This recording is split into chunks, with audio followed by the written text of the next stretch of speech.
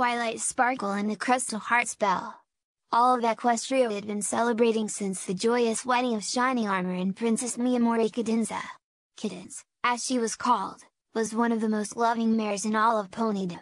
The citizens of Equestria, including the newly recovered Crystal Empire, were living in a time of happiness and prosperity. Apples grew in the orchards, creatures big and small played in the lush green fields, and ponies of all three tribes lived in harmony. And now, another promising young royal had been inducted into the highest ranks of pony society. It seemed like the cherry on top of a delicious ice cream sundae. Ponies of all kinds from the far reaches of Princess Celestia's kingdom were curious about the new princess who had just been crowned. She wasn't just any pony. This was a young unicorn, bony with a violet-hued hide, a beautiful purple and pink striped mane, and incredible raw abilities. Her name was Twilight Sparkle, and she was indeed very special.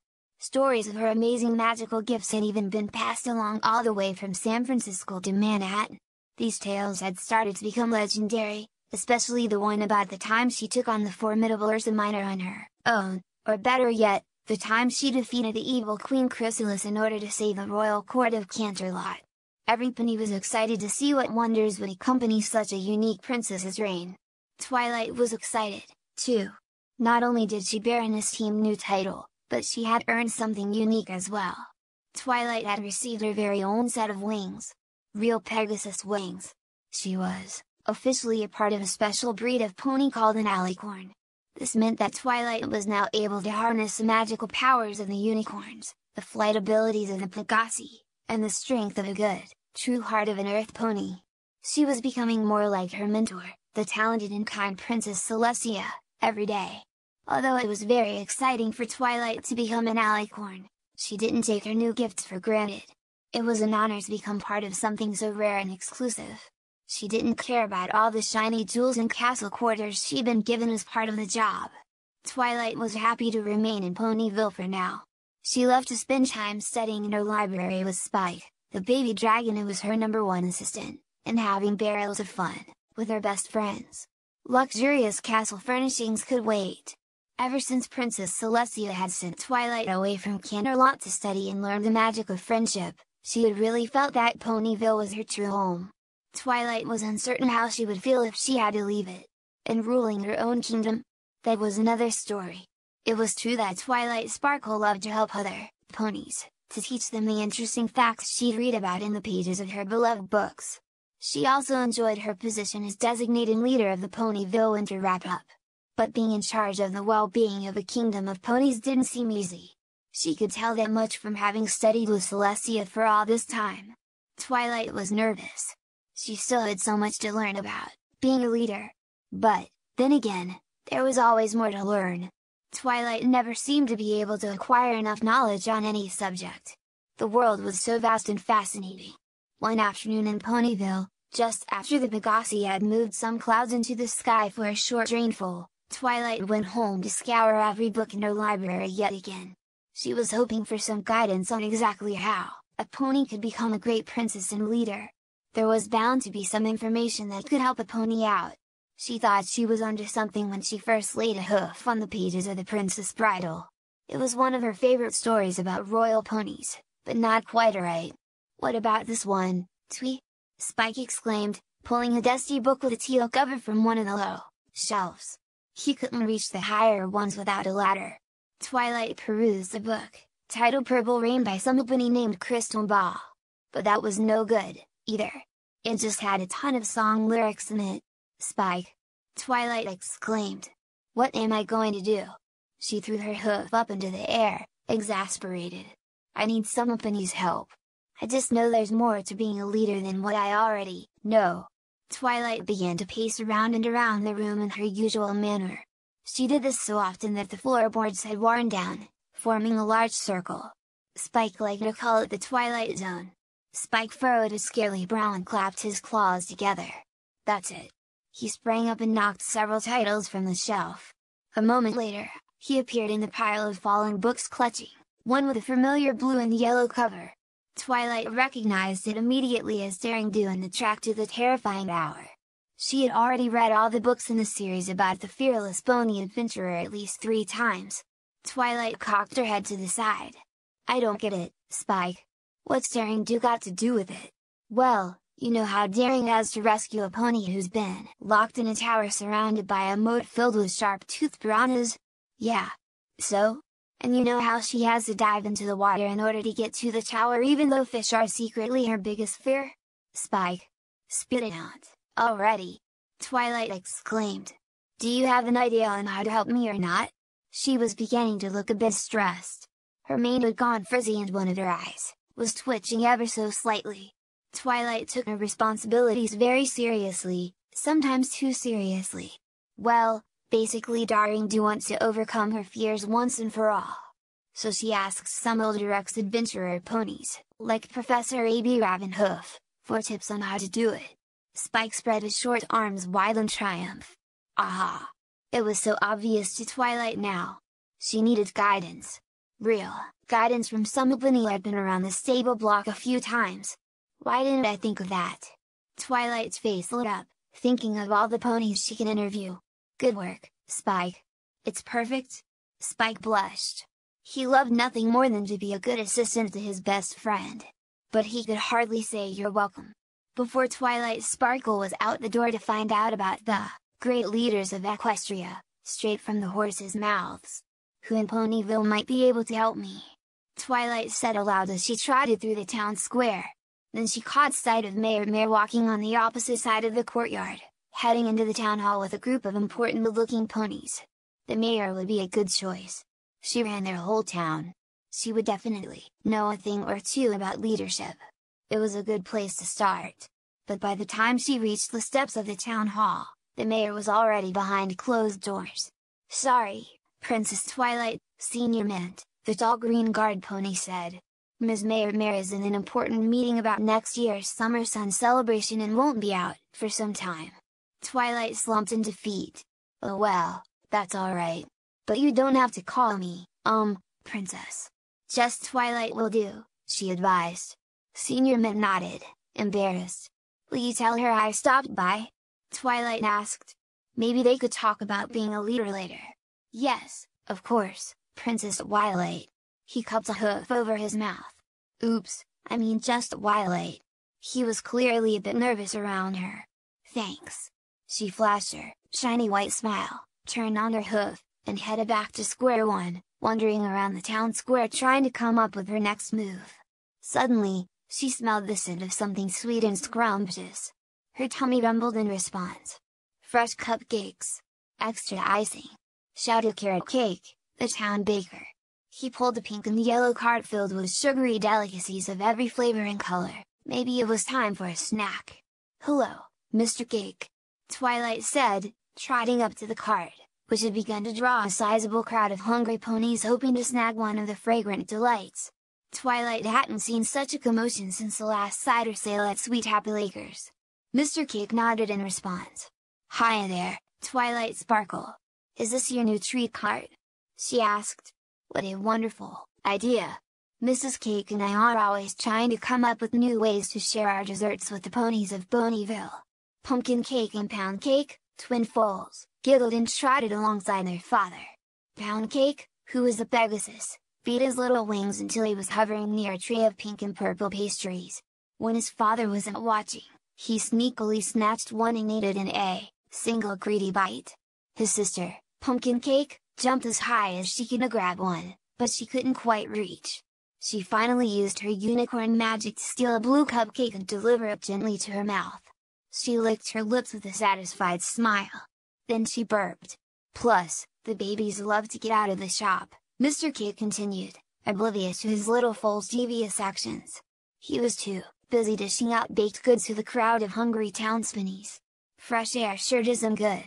Twilight watched as Pumpkin and Pound chased each other. They ran in circles and through the legs of a nearby gray Pegasus pony. The pony wobbled helplessly before toppling over into a nearby rose bush. When she popped her head out, her lemon yellow mane was adorned with prickly thorns. Mr. Cake! Do! You have any muffins today? She called as she tried to climb out. Her hoof got caught on a branch, and she tumbled onto the soft grass. Fresh out of muffins, unfortunately, Carrot replied, looking concerned. Well, I'll take one cupcake please. Twilight licked her lips in anticipation. Mr. Cake reached inside the glass display case, but all that was left were crumbs. Oh dear, we seem to be, out of everything. He frowned. His business venture was more successful than he'd expected. Why don't you trot back to Sugar Cube Corner with us? Carrot offered. Mrs. Cake is sure to have whipped up some more by now. Twilight hesitated. She was supposed to be on a fact-finding mission, not lounging around Ponyville eating sweets. Her stomach rumbled again and Pumpkin Cake giggled. I guess that's my answer, Twilight said, ruefully. Just for a few minutes, though. Then I have to get back to Mike West. The twins cheered and hopped on Twilight's back for a ride to the bakery. Get up! They chorused. Mrs. Cake, this rainbow chip. MMMF. Delight is. MMMF. Delicious, Twilight said with a full mouth. A dollop of pink icing made its way down her chin. Rarity would have been appalled at her bad manners. Excuse me, she said as she cleaned her face. I don't mean to eat and run like this, but I really must be on my way. Of course, Princess, Mrs. Cake said, bowing quickly. She stood up and continued to pipe a tube of icing onto a strawberry layer cake, creating a beautiful border of plump roses in the process. Twilight blushed with embarrassment. You really don't have to call me that, Twilight replied, this princess business was tricky. Maybe she should put up a banner in the town square telling everybody to treat her as they normally would. I'm just the same old Twilight, really. She caught sight of her reflection in the shiny cake display case. Other than the new wings, she still looked the same. She wasn't even wearing her tiara. In fact, I don't really know how to be a princess at all, that's what I'm doing today. I'm trying to ask some older ponies what it means to be a leader, but I don't want to ask Princess Celestia, that would be embarrassing, and when I tried to go see Mayor Mare, she was busy and everything seemed to spill out at once. Mrs. Cake furrowed her brow in motherly concern. My goodness, that sounds like quite the sticky situation. Why don't you visit your big brother and Princess Cadance? Twilight brightened at the suggestion. What a great idea! Her BBBFF, big brother best friend forever, Shining Armor and new biggest sister-in-law had much more royal experience than she did. Older siblings were practically made for giving guidance. You're genius. They are bound to have some royal advice, Carrot Cake pops his head in from the storeroom. We're not, out of royal icing. We have a whole carriage full back here, my dear. No, Carrot, Mrs. Cake shouted back. Royal advice. For Twilight. She shook her head and then sighed. Stallions. They never listen. Twilight chuckled as she made her way out the door. In that case, maybe I'd better talk to Cadance in not Shining Armor. She was feeling much more confident now that she had a real plan. Thanks for the terrific tips and treats, Mrs. Cake. Bye, Pumpkin. Bye, Pound. And then the young monarch was off to the Crystal Empire to find out exactly what made a royal pony tick. Or at least talk. Twilight Sparkle didn't think it was possible, but the Crystal Empire looked even more beautiful than the last time she'd been there. The winding, cobbled gem streets and tall spires sparkled and, glistened in the sunshine. Every facet of shining glass turned a different hue when the light danced on it. It had been a long journey, but it was well worth it to be back. As she entered through the front gates, Twilight felt a sense of overwhelming pride in her brother's new realm. Everything appeared to be fully restored back to its former glory, partly thanks to her, of course, though she, would never brag about it. The Crystal Empire had been through many dark days after the evil King Sombra tried to keep the source of the Empire's power the Crystal Heart, hidden away. The Crystal Heart, charged by the power of the pony's love, was the only object that was able to offer the Empire protection. Once it was stolen, the kingdom was overtaken by darkness. Luckily, Princess Celestia had put Twilight to the test when she recruited her and her best friends to help. They came to the rescue, putting on the long-forgotten Crystal Fair while Twilight searched for the Empire's beloved Crystal Heart. When Twilight finally succeeded in recovering the precious, magical gemstone, not only did she pass her test, but balance was also restored to the stunning city. As Twilight walked past a group of crystal ponies, she smiled and waved. Good afternoon, everybody. Hey, Princess Twilight Sparkle! They shouted in response. Welcome back! A sparkling teal-colored pony with a light blue mane jumped up and down in excitement. The pony was named Glitter Dance and reminded Twilight of her eternally energetic friend, Pinkie Pie. We're going to the Crystal Lake today! She exclaimed, come play with us! Twilight politely declined but was pleased by the invitation. The ponies were having tons of fun with one another, which was always a good sign. Every corner of the kingdom appeared to be filled with light and love. It was certainly the perfect place for Shining Armor and Princess Cadance to live and rule. Of course, having Cadance as their princess had likely contributed to the warm, fuzzy feelings of the Crystal Pony population. Twilly. The handsome white stallion with a blue mane yelled from across the courtyard. Shining Armor hadn't seen his sister since her coronation. He galloped over and embraced her in a classic big brother hug. How's my second favorite princess? He knocked her cheek lovingly with his hoof. Hey, now! Twilight laughed. I was around first, only kidding. He said as Princess Cadance trotted over to join them. You're both my favorite princesses. Cadance. Twilight called out. Sunshine. Sunshine. She started, looking to the elegant princess for acknowledgement. Ladybug's awake! Cadance yelled in joyous response. The two of them sang in unison as they hopped around and shook their tails at each other. Clap your hooves and do a little shake. It had been their secret tail shake since Twilight it was just a little filly and Cadance was her full sitter. It was still amusing after all these years, even though a couple of nearby ponies watched the scene in slight confusion. It was unusual to see their composed princess acting so silly. So what brings you to the Crystal Empire, little sis? Shining Armor asked. Isn't royal life, great? He beamed with pride and smiled wide. His little sister had come so far in her studies that she achieved princess status. It was very impressive, and he loved to tell other ponies all about her accomplishments. But ever since she was crowned, it was no secret to anybody. Twilight was famous all across Equestria now. Well, that's sort of why I'm here. Twilight dropped her eyes to the ground and scuffed a hoof around.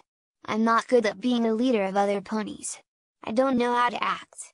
I don't feel anything like a princess, and it's just weird to have every pony call me that. I don't feel very graceful. Not like you, Cadance. Oh, Twilight. Said Shining Armor. It isn't an easy transition. But you are doing great. Twilight knew he was trying to help, but she couldn't resist rolling her eyes a little bit. Of course you would say that. You're my brother, you have to think so. Chill out, Twilly. Being royalty is a cinch. Right, Cadance? He was clearly missing the point. Cadance's face became serious. No, Shining Armor. It's not as simple as that. I completely understand what she's going through. She turned to her fellow princess. Maybe I can help you, Twilight. She started by leading Twilight Sparkle down the street and through the city. Twilight was happy to follow. It was a busy day in the Crystal Empire. The streets were bustling with crystal ponies rushing home from the markets and shops, their packs filled with fresh apples and other luxuries. Good afternoon, Moondust. Cadance greeted an iridescent white pony with a sleek silver mane. She was selling baskets of crystal berries, an Empire specialty, at a little stand near the fountain. How are your foals doing? The pony beamed as she bowed to the two princesses, they are wonderful. Would you like some fresh crystal berries? Moondust asked, and gave them each a small bunch. The sweet tartness exploded in Twilight's mouth as she devoured them. Twilight made a mental note to bring some back for the cakes. The berries would definitely taste delicious in a pie. Thank you very much. Twilight said as they walked away. How did Cadance do that? Remember the names of the whole kingdom's residents. Twilight sometimes found it difficult to remember the names of just the entire Apple family. So far in the Empire, she met Topaz Twist, Citrine Star, Rosie Quartz, and now, Moondust. Cadance's memory was impressive. Twilight wondered if she studied every night. I always try to remember every penny in the kingdom, because each one is special, Cadance explained as they walked. We all play our part in making the kingdom a happy and fun place to live. Twilight sighed. Cadance definitely in a point, but all these new responsibilities were starting to add up. Maybe she could make flashcards with each pony's picture on it. You're such a great princess, Cadance, Twilight said. They approached a young crystal pony couple, who smiled and bowed as the princesses passed them. I wish I could be like you. I feel so lost. You know, Cadance offered, I didn't always feel so confident. You didn't? Twilight asked, trying to think of a time when Cadance had seemed, as lost as she felt now. When I was found as a baby Pegasus, in a forest far, far away. Cadance began the familiar tale. Twilight listened intently as Cadance recounted her path to becoming the great pony leader she was today. Cadance told her how some earth ponies from a nearby village took her in as their own little filly. And as she grew up, the natural love and compassion she had for others, filled every pony with warmth and the urge to, protect her. Cadance was definitely special. But always not well for long. An evil pony enchantress named Primia lived alone nearby. She rarely came out of her cottage because she felt nothing but jealousy for the other ponies in the village, the way they loved and took care of one another. And yet, she had not been who cared for her. Primia always wore a powerful necklace, which she cared for, more than anything else in the world, and it served to amplify the evil and jealousy within her own heart. When Primia's bad feelings and the power of the necklace finally overtook her, she cast a spell on the villagers that leached all the love from their homes. She hoped to capture some of that love for herself. Every pony was distraught and sad. Cadance decided that she couldn't let that happen, so she went to see Primia. Luckily, the Enchantress's powerful necklace also amplified the power of Cadance's love, and she soon defeated Primia with her incredible gift of compassion. Once Primia changed her horrible ways, Cadance was surrounded by magical energy and transported to a strange place, a place that not many except Princess Celestia had ever been. So when Celestia discovered, special little Cadance in that mysterious location, her fate was sealed. The princess brought her back to Canterlot to raise her as her very own royal niece, the special and loving young Princess Cadance. Princess Cadance's special talent had always been her amazing ability to spread love wherever she went, settling conflicts and bringing ponies of all kinds together. In her final exam at Celestia's School of Magic, Cadance was even able to make two known rival pony families of Canterlot become best friends for life. So I spent a long time in Canterlot just resolving conflicts whenever I was needed and helping other ponies find love. I never really experienced it for myself. Cadance blushed a little and giggled. Even though I did have a crush on your brother. Twilight made a disgusted face. Yuck! Everyone was telling me what a great princess I would be someday, but I just didn't feel like I knew what to do. Cadance said. Twilight nodded in enthusiastic agreement. Now they were talking. So I went to Princess Celestia for advice. And? Twilight asked, all ears. She asked me if I felt like a true leader. Cadance stopped walking and turned to her young companion. I told her that no, sadly, I didn't. And? Twilight repeated again, she could hardly take the suspense. Cadance continued, she told me about an ancient spell that had the power to make any pony who was destined to lead become the pony they were meant to be. Twilight smiled. She knew that there was an answer to all of this, and of course it was a spell.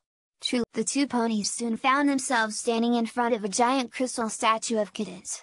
The sun shone through it, creating hundreds of tiny rainbows in the water flowing through the fountain. Wow, they must Really love you a lot here, Cadance. Twilight cocked her head to the side. She could never imagine having a statue of herself. It was a bit much. Cadance shook her head and shrugged. Oh, I guess so. She said, chuckling. The famous, powerful crystal heart stood next to the statue, shining brilliantly with the magic of the crystal ponies. Thankfully, it was safely displayed right where Twilight had last left it, rather than hidden away with some evil king, Rescuing the heart once had been difficult enough. She didn't want to have to do it again. So where can I find this, leader spell, then? Can you teach it to me? Is it in one of the old spell books? Twilight asked eagerly. As soon as she learned the words from Cadance, she'd be on her way back to Ponyville. Then everything would be solved. Oh, no, Twilight. Cadance shook her head. This spell isn't something that can just be learned. The Crystal Heart spell can only be revealed when a future leader of Equestrian understands what her biggest challenge in leadership will be. Only then will she know how to rule, in her heart. Twilight furrowed her brow in confusion. What an Equestria was Cadance talking about? Revealed? Twilight was somehow supposed to get some random spell to appear out of thin air? This was going to be trickier than she'd expected. How in the hoof am I supposed to do that? I can help you with one clue just as Celestia did with me. Cadance's voice was gentle and reassuring. Just think about the elements that make up a great kingdom, Twilight. The elements of harmony? Twilight asked. It was the first thing that popped into her mind, so it probably was too obvious. Not exactly, Cadance said. What are the best things we have in Equestria? Twilight cocked her head to the side, completely baffled. Cadance thought it might be time for a different approach. So she began to recount her search for the spell in greater depth. Cadance warned Twilight, though, that the spell worked differently for everybody. It couldn't be repeated. Once I received the clue myself, I decided to start by asking my friends what they thought, Cadance remembered. They had all sorts of crazy ideas about what they liked in a kingdom. Like what? Twilight was soaking everything in like a sponge. This would all be useful in helping her find the Crystal Heart spell. Well, my friend Buttercream said she thought every kingdom should have a chocolate fountain in the center. And another pony I knew, Sky Chariot, suggested a curfew time for all ponies to be home by. Cadance, scrunched up her face in distaste. I didn't really agree with any of them, but I used their ideas anyway. Twilight nodded along as she listened to the story. But nothing happened. Cadance said dramatically. The spell was nowhere to be found, and I was more lost than ever. Twilight's eyes grew wide. So how did you find it? One day, I was sitting by the lake just outside Canterlot. Reflecting on the situation, Cadance recalled. I thought about how all I had ever done was listen to the suggestions or commands of other ponies. Like the way they would always ask you to help them fall in love? Twilight asked. Yes, exactly. I never made any decisions for myself. Cadance stared out into the water of the crystal fountain. As soon as I realized this, the spell appeared, shimmering in gold letters on the surface of the lake. Wow! Twilight cooed, imagining the pretty scene. Maybe she should go visit the crystal lake after all. As soon as I read the spell aloud, I instantly knew that my destiny was to lead other ponies with my strengths of true love and tolerance. But the only way to do it was by listening to my own heart as well. Cadance led Twilight through a massive wooden door and into a lush castle bedroom. It was decked out in rich, royal velvets of deep purple and gold. Hundreds of precious gems of every color adorned the bed frame and hung from the chandelier. The early evening light shining through tall, gilded window panes was dazzling. It raked across the gray and silver stones of the walls and onto the lavish furnishings. With all the glitz, the castle quarters would have suited Rarity perfectly. The only thing about it that screamed Twilight was the fully stocked bookcase in the corner. Twilight blinked her eyes in disbelief. This room is all mine? Well, not all yours. Spike popped out from behind the purple drapes and did a little vaudeville dance. Surprise! Cadance laughed at the little dragon's antics. Spike! The Twilight, exclaimed, and instantly felt guilty for leaving him behind earlier. Sorry I left Ponyville in such a rush. You know how I get when I'm on a mission. Do I ever? said Spike. It's just lucky you came back here when you did. I almost ate that entire bed frame while I was waiting for you. Spike's eyes grew large with longing as he looked around the room. Jewels and crystals were his favorite meal. It had taken a lot of self-control to keep from nibbling the furniture. Good thing you didn't. Twilight's eyes landed on a small, wrapped golden box with a bow on top. It was sitting in the center of the bed. Spike, you didn't have to bring me a present. It's not even my birthday. But I didn't. Spike scratched his head. I don't even know where that came from. It's for me, it is said, nudging it toward Twilight with her muzzle. Just a little gift from one princess to another. Cadance winked. Twilight tore open the packaging. Inside was a beautiful necklace made of purple jewels. At the center was a large, prismatic gem in the shape of a heart. It had a special quality to it that Twilight had seen only one other place. Around Cadance's neck. Cadance, is this your favorite necklace? From when we were growing up? As a filly, Twilight had admired the necklace. It had always seemed to be extra special in some way that she couldn't quite put her hoof on. Cadance smiled warmly. Of course it is. I think it's time that a new princess wore it proudly. Oh, Cadance. Twilight put the necklace on and spun around. Spike's eyes were glued to the adornment. Twilight admired herself in the mirror. I'll take such good care of it. Thank you. Of course, my dear new sister, Cadance said as she made her way to the door. I just want you to know one thing. Twilight was still spinning around in front of the mirror, dreamy-eyed. Yes? She said, though it didn't seem like she was paying much attention. The rare gem in the middle has been enchanted with a powerful charm, Cadance explained. As long as the pony wearing it is filled with the magic of the love and positivity, the necklace will wrap her in warmth and protection. It sound amazing. Twilight said, looking down at the rare gem in awe. Wait, is this the same necklace from the story? That Hermia wore? It very well may be, said Cadance with a wink before she turned serious again. But, you must also remember that if the pony wearing it does not display those traits, it will only serve to magnify the negative thoughts and doubts within her. Caution Cadance. Be careful, Twilight. Dot. Remember, if you stay true to your heart, the spell will soon reveal itself. And with that, Cadance was gone. Got it. Twilight replied lazily, exhaustion from the long journey finally beginning to overtake her. She climbed into the cushy bed and nuzzled down into the covers. In the morning, she would begin to look for the elements of a perfect kingdom. True to your heart! She whispered before falling into a sweet, dreamless slumber. It was a sound sleep of a princess with a purpose. She'd only been there a day, but Twilight Sparkle's crystal suite was already a. All the books from the shelf in the room were pulled out, littering the floor and bed. Some were open to pages filled with spells and history lessons, others lay closed in stacks. Spike sat on the window seat, gazing out at the panoramic view of the Crystal Empire and then looking closer with a telescope. He was trying to guess how many crystals were out there and also how yummy each one would taste. Where did Cadance say she started looking for the spell? Twilight asked Spike, who hopped down and started restacking the books onto the shelf. It was almost like being back home in the cottage. I don't know. Spike replied. I was up here waiting for you, remember?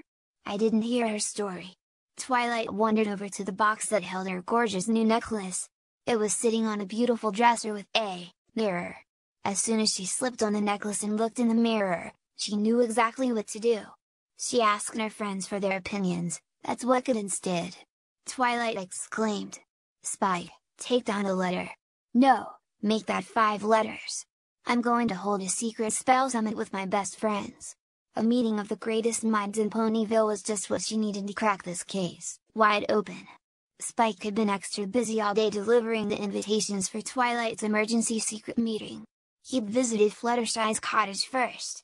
She politely accepted and asked Spike if he wanted to come inside and play with her new fruit bat, Toby. He's ever so shy, and I think he could use a new friend like you, Spike, she said in her tiny, gentle voice. Sorry, Fluttershy. I have all these scrolls to deliver for Twilight. Maybe Toby and I can hang out later. Spike chuckled at his own joke, but Fluttershy looked confused. Get it? Hang out? Because bats hang upside down.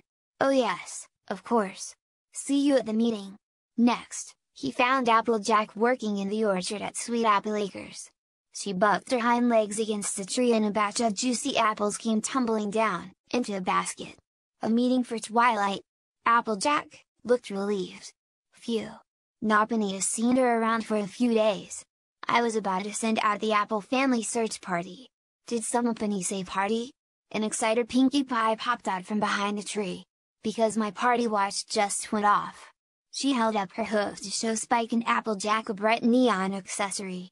It looked like a watch, but instead of numbers it just had pictures of colorful balloons, streamers, and confetti with the word party spelled out 12 times. Little blinking lights rimmed the edge, and a honking noise was being emitted from a tiny speaker at the top. But where are all the numbers? Applejack asked, confused. Who needs numbers? Pinkie said, and shrugged. To see what time it is, silly. Applejack threw her hooves in the air to illustrate her point. But, it does tell the time. It's party time. All the time. Pinkie shouted with glee. Now who said the magic word, huh? Huh? She came up to Spike and looked him straight in the eye. Was it you? It's not a party, really. But here you go, Pinkie. Spike handed her a scroll. She quickly unfurled it and read the message. A secret meeting party? Oh goody, goody gumdrops. I have to go get ready. And, then Pinkie Pie bounced off toward her house. Thanks, Spike, Applejack said, shaking her head. I guess you can count me and Pinkie in. Rarity, on the other hand, was less thrilled about the invitation. She peered down at the scroll through her purple cat's eye work glasses. I'm in the middle of making a huge order of ornaments. Can this wait until later? Rarity was always trying to finish, some new garment or accessory for her carousel boutique. She was a very hard worker. Twilight said it was an emergency. Spike looked down at his feet. He didn't like to upset Rarity, because he really, really liked her. But she always responded to a few well-worded compliments. Say, Rarity, have you done something special to your mane? It looks super duper shiny today. Well, actually, I did go to the spa this morning to have my hooves done and they gave me some new conditioner. Rarity began to rumble. Five minutes later, Spike was still standing there, and then I said, Darling, if you must do my tail as well, just do it. I knew it would be worth it. Well, it looks great. Gotta run. Spike quickly said before heading off down the road. He had spent quite a bit of time, listening to chatter about the latest beauty treatments in Ponyville, and now he was running late. Luckily, he had only one stop left. Rainbow Dash was the last pony he had to invite at Twilight's secret meeting. Special delivery for one Miss Rainbow Dash Spike shouted half-heartedly at the clouds. He was ready to call it a day by the time he reached Ponyville Park. It was directly under Cloudsdale, so there was a good chance of finding the Pegasus there. Rainbow Dash! He called out impatiently. I have a very important invitation to a very secret meeting at Twilight Sparkle's cottage. Hold your ponies, Spike, Rainbow Dash said, swooping down from a cloud. I'm coming. Rainbow zoomed by a cloud that looked empty, but hidden inside was Nosy Gilda the Griffin, and she had heard every word. Suddenly, the secret meeting was not so secret. So what in tarnation is this all about, Twi? Applejack asked as she bit into one of the apple fritters she brought for the meeting. All five of Twilight's best friends had shown up, even though surely they had other important things to do. Twilight knew she was lucky that they'd come to help her, no questions asked. It filled Twilight with a sense of pride and warmth that made her new necklace shine doubly bright. Twilight cleared her throat and looked at each of the ponies in the circle. Thank you all for coming, she began, and was immediately interrupted by Rarity. Is that divine necklace around your neck made of cosmic spectrum? She stared at Twilight's new accessory with desire. I have only seen pictures of it, in books. My goodness, it's gorgeous. It almost looks like a mini version of a crystal heart. Rarity trotted over to get a closer look. Thanks. It was a present from Princess Cadance. You know what they say about cosmic spectrum? Rarity added, turning to the other ponies. When you wear it, you must remember, oh, totally. Yeah, I know all about it, Twilight said in order to keep the meeting moving. Twilight didn't want to listen to Rarity talk about gemstones right now. The clock was ticking. Rarity shrugged, a little hurt. She trotted back to her spot and plopped down. Anyway, thank you all for coming on such short notice. Twilight looked around at each of her friends with genuine gratitude. I've asked you here because I desperately need your help, ooh. I know, Pinkie Pie interrupted with a squeal. You're planning an undercover jewel heist mission and you want us all to join Sparkles 6? Twilight shook her head.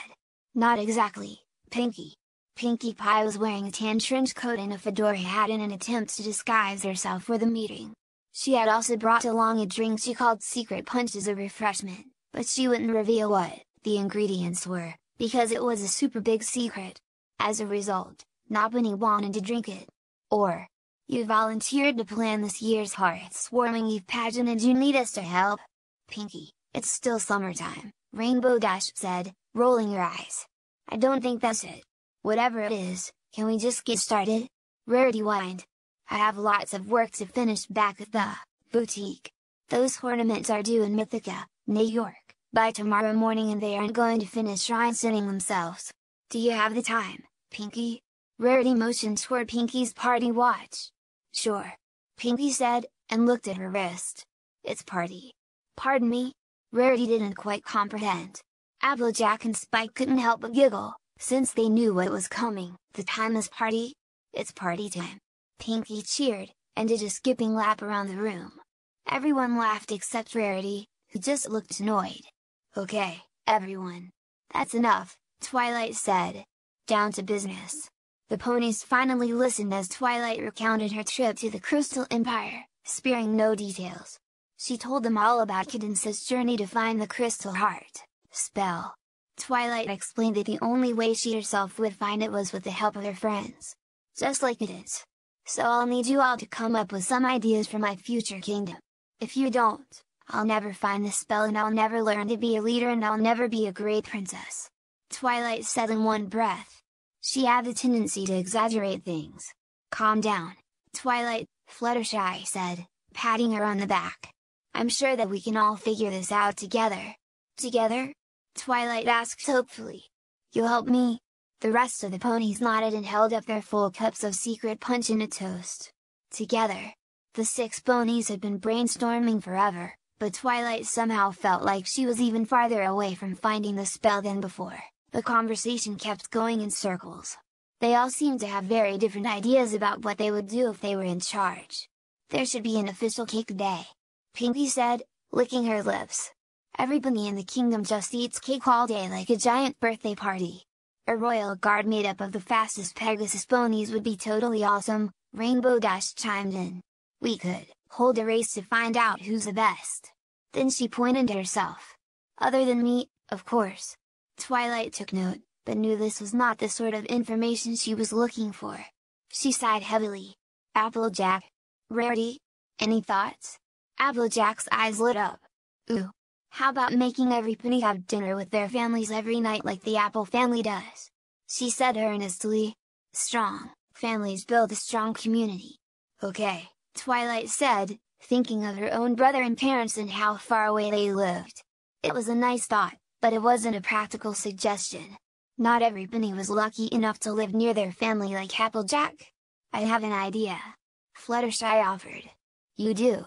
Twilight replied, her ears perking up. Fluttershy was soft-spoken, but she could be very creative and surprising. Tell me.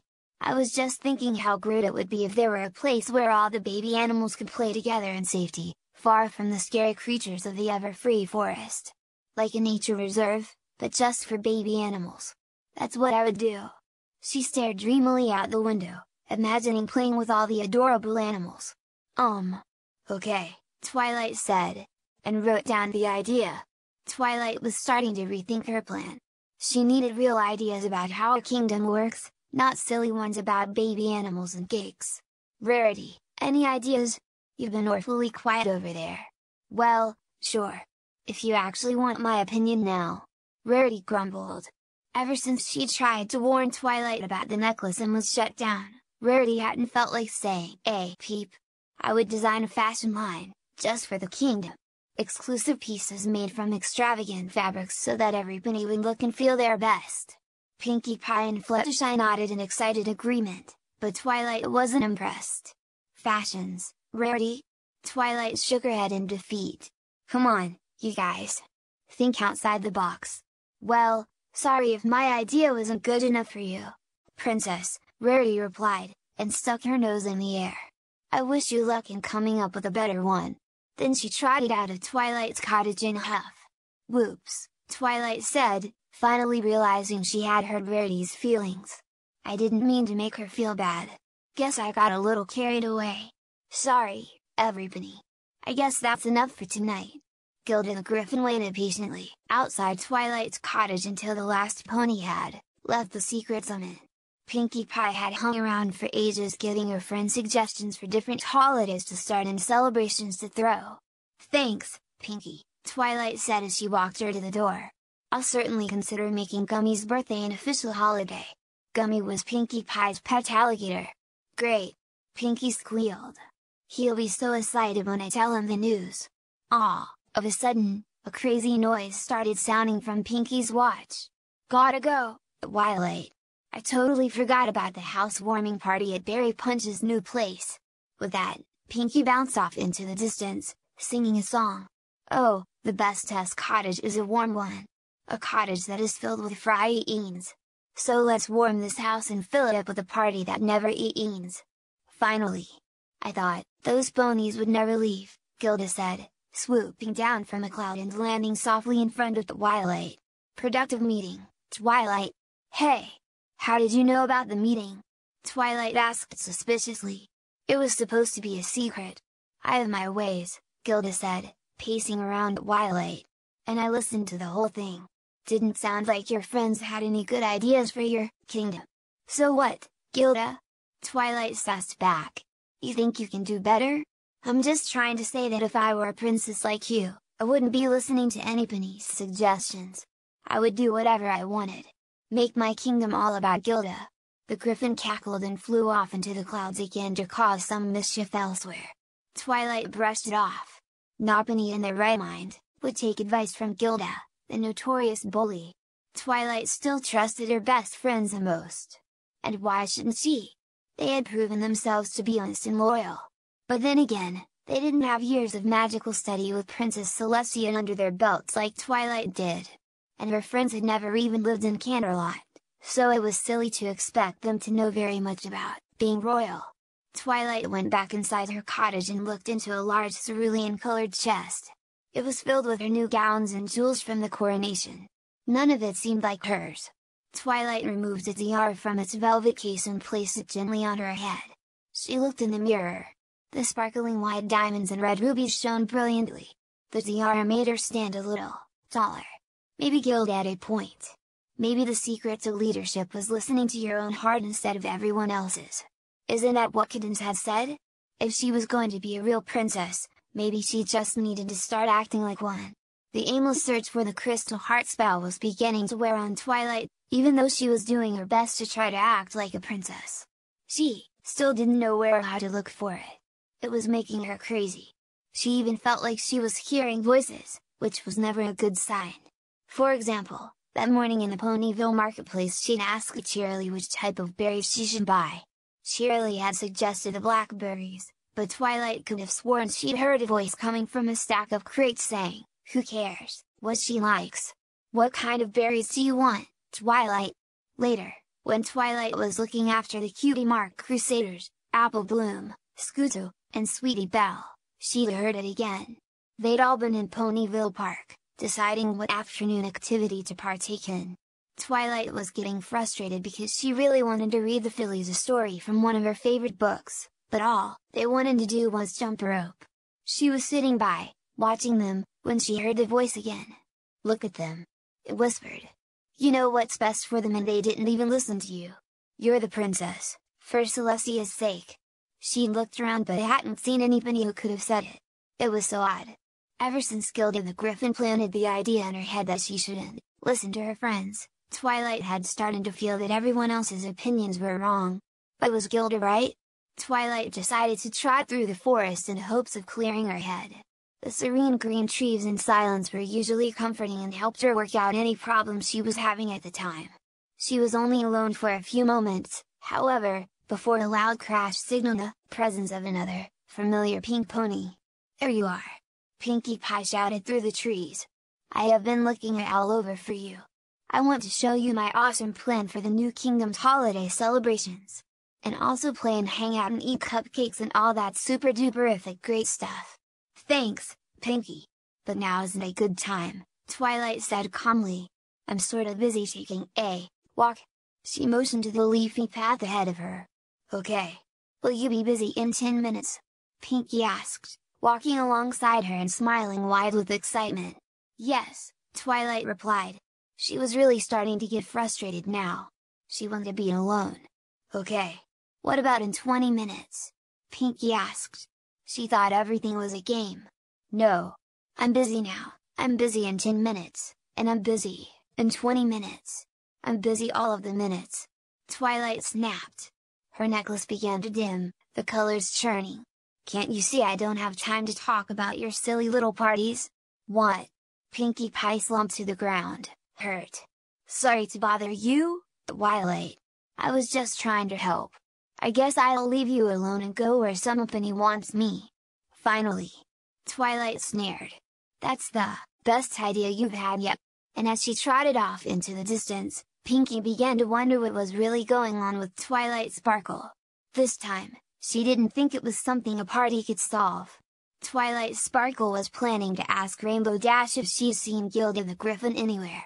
Even though the two of them were no longer the best of friends, Rainbow always saw most of the comings and goings of the residents of Ponyville. There were great views of the whole town from up in the clouds, so she might know. Maybe talking to the griffin again would shed some light on the situation. There had to be more to what she tried to tell Twilight the other night after she crashed the secret meeting. Or maybe not. But a princess should listen to everybody, Twilight told herself. Especially, because she still hadn't thought of a way to find the spell. Rainbow Dash was sitting on a cloud high in the sky. She appeared to be arguing with a large group of Pegasi. She didn't hear Twilight trying to call her from below. Good thing I have wings now, Twilight thought, taking off. She enjoyed the rush of cool air as she soared into the sky. It was fun to be an alicorn. I have heard it more clouds today than all you slowpokes put together. Rainbow Dash shouted at the other Pegasi. My skills are second to Nopony. If you're so good, Rainbow Crash, why don't you help out the rest of us? A big stallion named Hoops shouted back. His cutie mark was three basketballs. Rainbow. Twilight called out, but Rainbow didn't notice. You asked for it. Rainbow shot back at Hoops, and took off, into a showy barrel roll. She gathered a nearby cloud, combined it with two others, and then jumped onto it. A heavy flood of rain poured out the bottom of the massive cloud like a waterfall. Just call me Commander Hurricane! Rainbow yelled, grinning from ear to ear. Rainbow Dash it! Twilight yelled a little louder. Why wasn't Rainbow listening? The princess was trying to speak to her. Twilight frowned. Rainbow! Listen to me! Rainbow Dash finally noticed her friend hovering there, looking a little strange. Oh, hey, Twilight! Are you here to talk about my awesome plans for the new Royal Guard? No, Twilight rolled her eyes like answering Rainbow's question was really hard work. Have you seen Gilda? Rainbow cocked her head to the side. Twilight was acting really weird, and the colors on her necklace were swirling around. Are you okay? Rainbow asked. Of course I am. Now, have you seen Gilda or not? I think she's down by the farm with Trixie, Rainbow said. The two of them have been spending a lot of time together lately. If you ask me, it smells like trouble. Mixing pranks and magic is a bait idea, right, Twilight? The Twilight sparkled in near the last part, because she was already off, flying towards Sweet Apple Acres. She didn't even say thank you. A good patch of leafy foliage was always ideal for spying. That was precisely the reason why Twilight Sparkle often found herself hiding behind tree trunks and peering through hedges while doing various sorts of field research. Today, Twilight crouched low behind a bush near the barn at Sweet Apple, Acres. She had spent the last 10 minutes watching as Gilda and Trixie rolled a barrel of fresh cider from the sacked up stores and dumped it onto the grass. Glug, glug, glug. The cider spilled out quickly. Why anyone would waste the precious cider was beyond Twilight's understanding. Yet the two of them snickered as they began to fill the empty barrel with some gloopy green gunk that resembled the lily pad slime from Froggy Bottom Bog. These ponies will never know what hit them. Gilda laughed triumphantly. This might be one of my greatest pranks yet. Trixie joined in.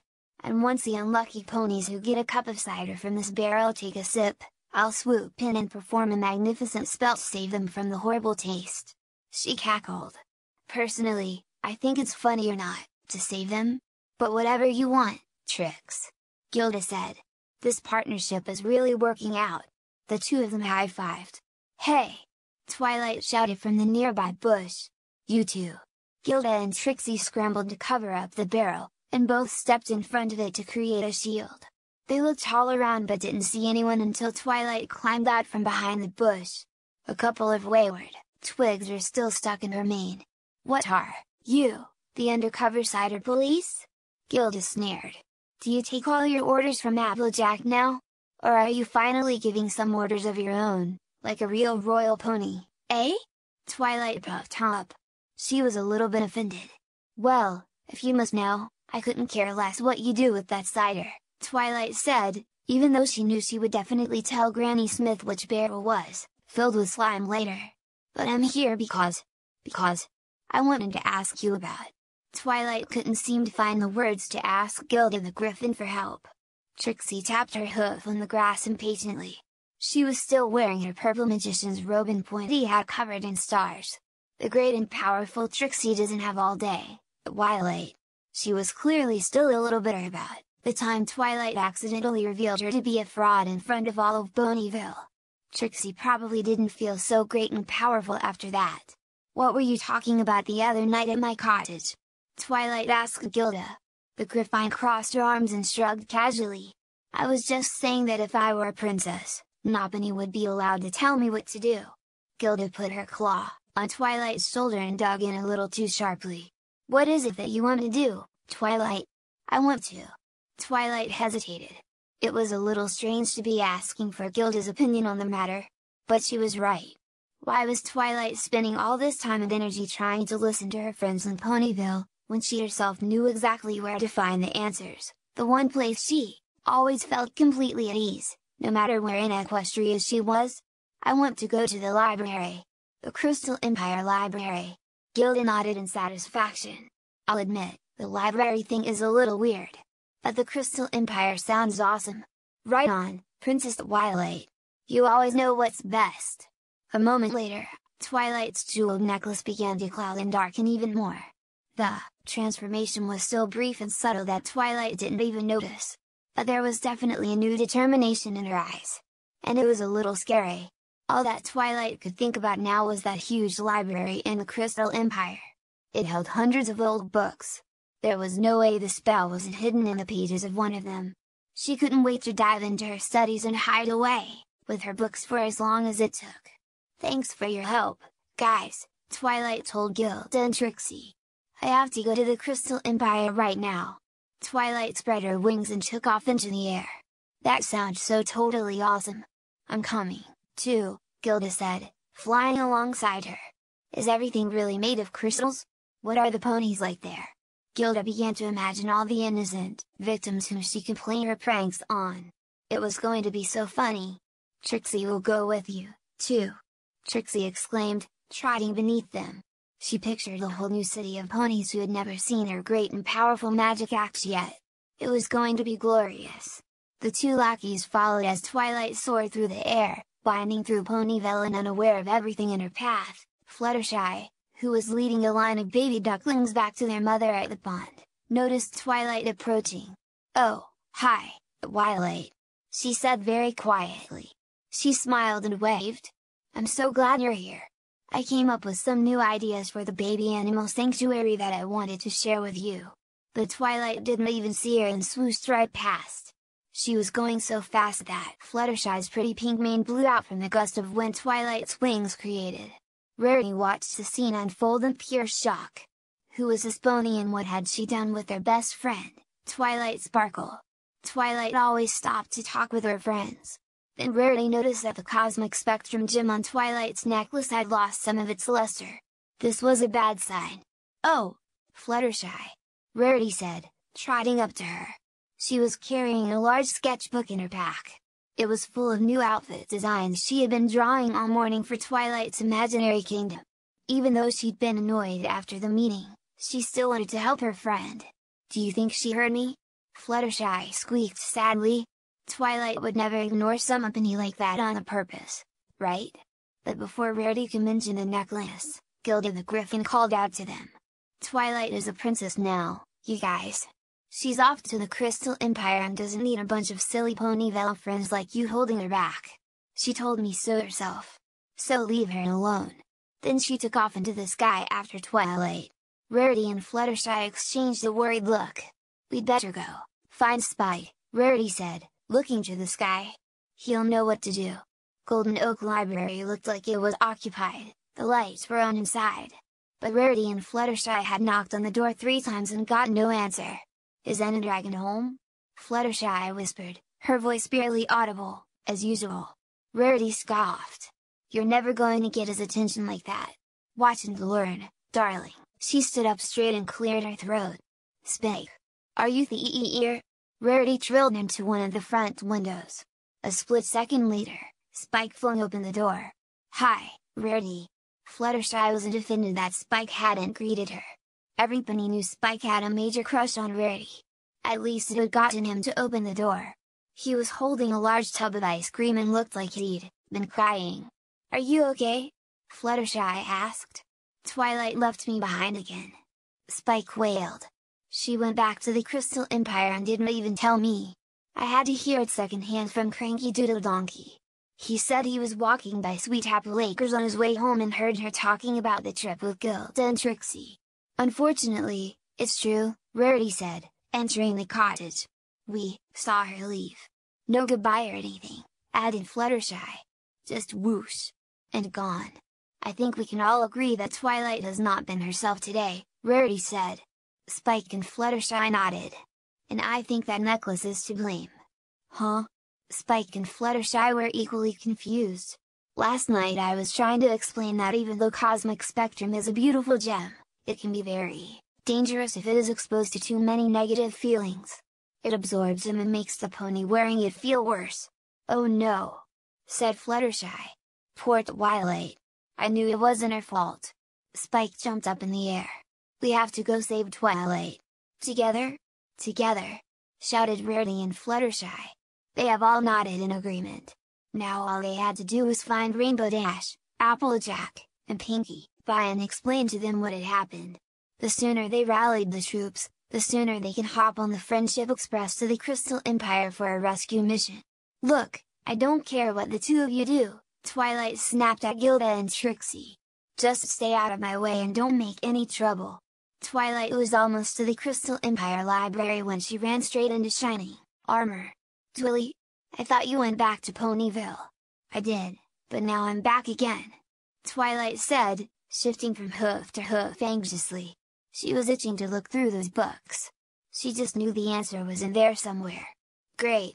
You should come have lunch with me and Kittens in the castle, Shining Armor said. That's so nice, but I don't have time, maybe tomorrow. I have to go.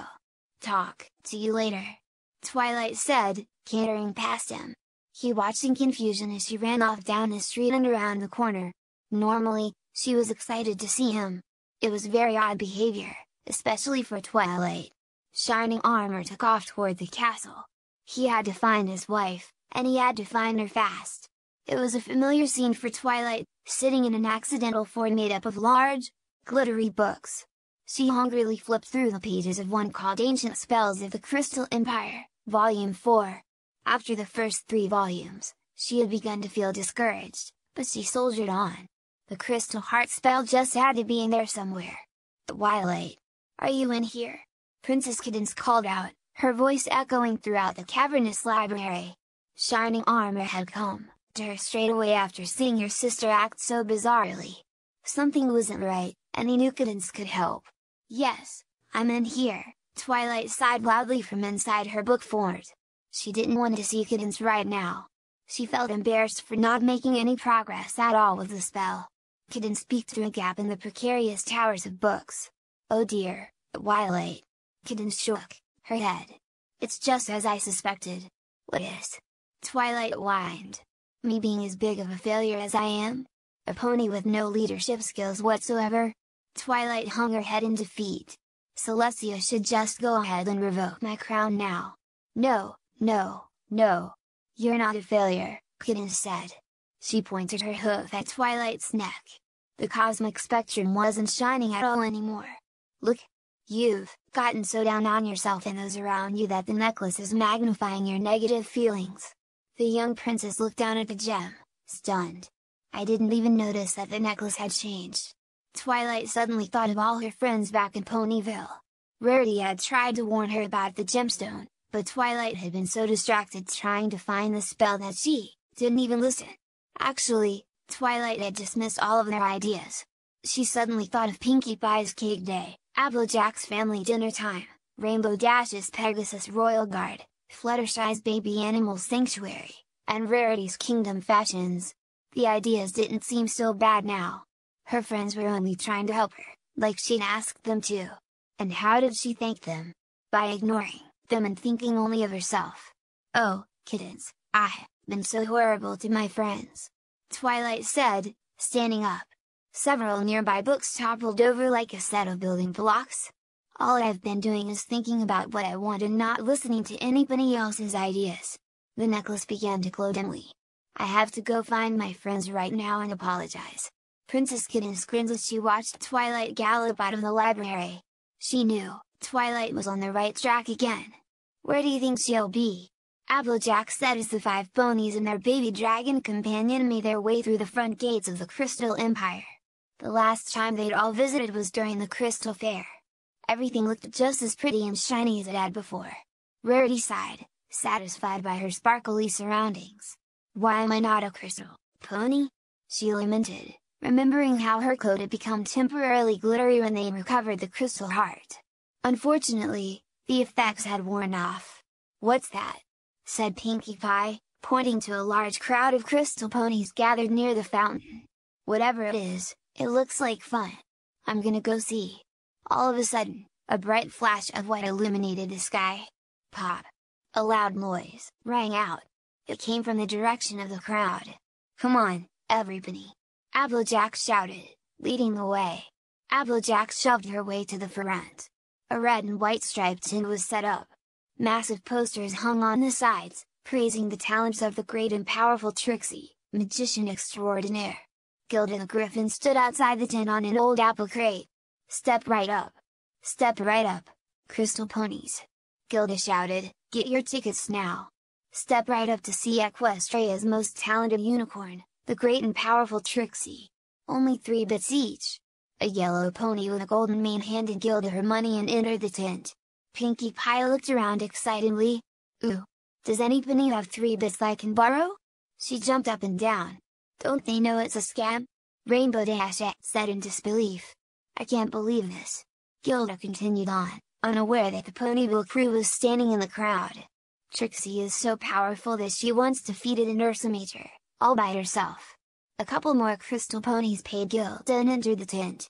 Hey, that's not true! said Fluttershy. It was Twilight who did that. Well, she took care of Ursa Minor, anyway. I can't stand by, and watch this anymore, Applejack said. She trotted into the front of the crowd and hopped up onto another crate. Crystal ponies. Do not pay to see this show. This Griffin and Unicorn are comp ponies who are trying to steal your bits. A low murmur broke out through the crowd. What are you doing here? Gilda spread her wings and screeched. First you don't know how to take a hint when princess. Twilight wants to get rid of you. And now you are ruining our show? You five are the worst ponies in all of Equestria. Trixie peeked out of the tent to see what was going on. The crystal ponies all watched the scene with their jaws open. This was more of a show than they bargained for. Nopony wants you guys here. Gilda yelled. But she couldn't have been more wrong. That's not true. A voice, pierced through the crowd and interrupted the argument. They are my best friends, and I want them here. Twilight broke through the mass of crystal ponies and trotted over to her friends. What are you guys doing here? Twilight asked. She couldn't believe they had come all this way. We came to rescue you, silly. Pinkie Pie said matter-of-factly. I told them all about the necklace, Rarity, explained. We knew that you weren't being yourself. The Twilight we know would never be mean to her friends. Fluttershy said. Or ditch us for those two. Rainbow Dash added motioning to Gilda and Trixie. The two of them were now bickering over whether to continue on with the show. I'm so sorry, you guys. I thought that listening to my own heart meant choosing whatever things I wanted in the kingdom. Twilight smiled, and the necklace began to glow. Now I know that a princess is not defined by the things she chooses for her kingdom. All that matters is how she treats other ponies, especially her friends. She leaned over and pulled them all into a group hug. Princess or not, we are all equal ponies. Twilight said. Oh my, Twilight. Rarity squealed. Look at your necklace. Sure, enough, the gem began to glow brighter than ever before. The light was low and pulsating, like a true beating heart. Nearby, the crystal heart grew brighter as well. It was almost as if the two jewels were linked by some invisible force. The ponies watched in awe as a gigantic, glittery rainbow suddenly burst forth from the center of the crystal heart. It arched directly into Twilight's necklace, ooh! Everybody watching the scene could. Hey, look at that! Rainbow shouted. There are words on the crystal heart. Twilight knew it right away. The crystal heart spell had finally revealed itself to her. She tried it over and admired the words, which were lit up in shimmery gold. She took a deep breath and began to read them aloud. Friendship is a creed. It has been from the start. It's the only way to lead, with your crystal heart. Twilight's coat sparkled as the spell took its effect on her. Of course. she thought as she read the words. Friendship had always been the answer to her problems. Why did she think it would be any different once she became a princess? Twilight looked around at the crowd of crystal ponies cheering her on, her best friend standing next to her, and her brother and kittens looking proud. Twilight finally felt like a real princess. Happy Cake Day, everybody! Pinkie Pie shouted with glee, skipping through the center of Ponyville. Since returning from the Crystal Empire, Twilight had started using all of her friends' suggestions as practice for being a real leader someday. It was working out perfectly. Everywhere Princess Twilight looked, Pony families were enjoying the special crystal berry cupcakes and pies together. Happy Cake Day! They said to one another happily. The Cutie Mark Crusaders and even made a banner that read Ponyville Cake Day, and hung it across the front of the town hall. Great idea, Princess Twilight! Mr. Cake shouted from the treat cart. These things are selling like hotcakes. They are hotcakes, dear, Mrs. Cake laughed. Don't thank me. Twilight said, walking over to where her friends sat on the grass, enjoying their own crystal berry cakes. Thank Pinkie Pie. She has the best ideas. Twilight took a small bite of her cupcake, careful not to let her tiara fall off her head. Wearing it still took some getting used to, but everybody in town really liked it when she did. In fact, all my friends have the best ideas. Rarity smiled and winked at her. So do you, Princess Twilight. So do you. The end.